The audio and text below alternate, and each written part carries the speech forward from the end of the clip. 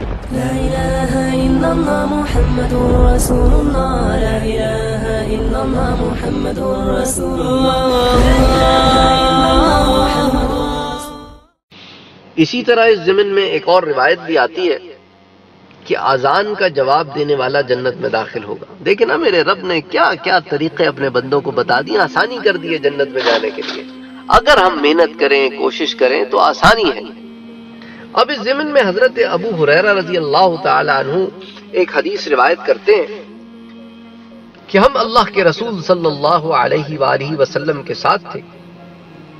فقام بلال ینادی، حضرت بلال کھڑے ہوئے اور آزان دی۔ فلما سکتا اور جب حضرت بلال رضی اللہ تعالیٰ عنہ خاموش ہوئے تو قال رسول اللہ صلی اللہ علیہ وسلم، تو حضور اکرم صلی اللہ علیہ وآلہ وسلم نے ارشاد فرمایا، من قال مثل هذا یقینا دخل الجنہ۔ جس نے معزن جیسے کلمات یقین کے ساتھ دہرائے، وہ جنت میں داخل ہوگا۔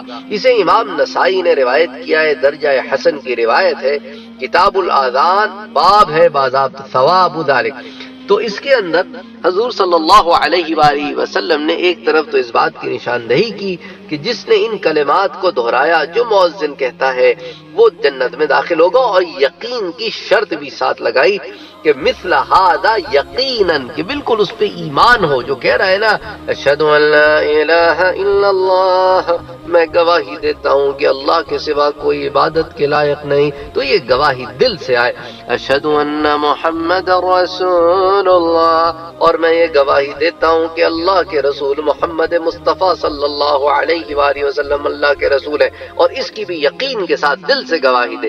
جب گئے نا موزن اللہ اکبر، اللہ پھر وہ دل سے کہے کہ میں اللہ کو بڑا مانتا ہوں، اللہ کی کبریائی بیان کرتا ہوں۔ اللہ واقعی سب سے بڑا ہے۔ اور جب وہ کہے نا معزز لا الہ الا اللہ، کہ ہاں کوئی عبادت کے لائق نہیں سوائے اللہ کے، تو وہ مانے اس بات کو دل سے۔ اور جب وہ کہے نا حی علی الصلاح، حی علی الفلاح، تو آگے سے اس کا جواب یوں نہ دے، بلکہ دے کہ لا حول ولا قوت الا باللہ، کہ نیکی کرنے کی اور گناہوں سے بچنے کی طاقت نہیں ہے میرے پاس، سوائے اللہ سبحانہ و تعالی کی رحمت کے نہ میں نیکی کر سکتا ہوں، نہ گناہوں سے بچ سکتا ہوں۔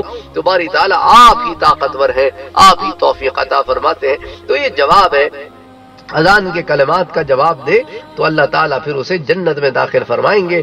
اللہ تعالیٰ ہم سب کو جنتوں میں داخل فرمائے۔ وما علینا الا البلاغ۔